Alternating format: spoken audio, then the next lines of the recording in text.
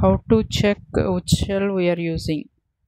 So the shell value which shell we are using that was uh, shared in a variable with the name.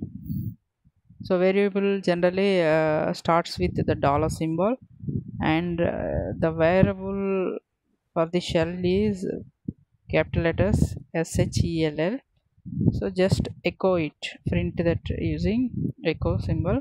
Then you will know how to check it. So now i am using bin bash so by using this simple command echo dollar shell. Shell must be given in capital letters.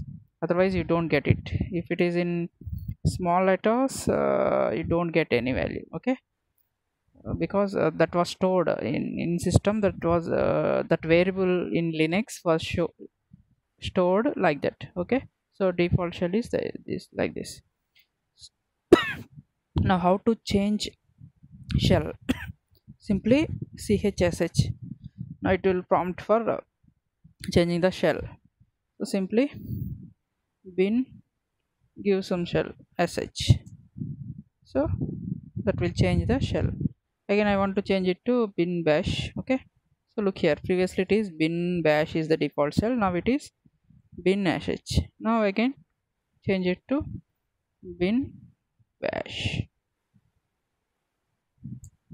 okay so that's how we can change the shell. So to see which shell we are using echo dollar shell. Shell must be in capital letters so that we get the the shell we are using.